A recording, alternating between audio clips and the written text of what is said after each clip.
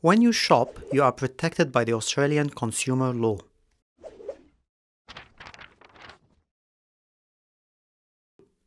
When you shop, it is your right to ask questions. For example, what are the ah. phone's features and how does it work? Take your time when you shop. Don't be rushed into signing any paperwork. It's your right to ask for a receipt as proof of your purchase when you buy goods.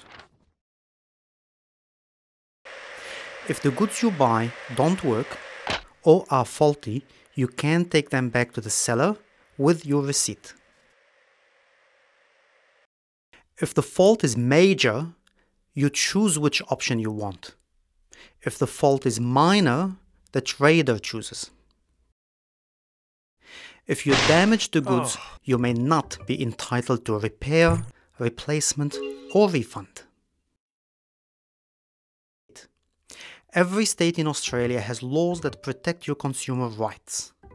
Government departments look after these laws.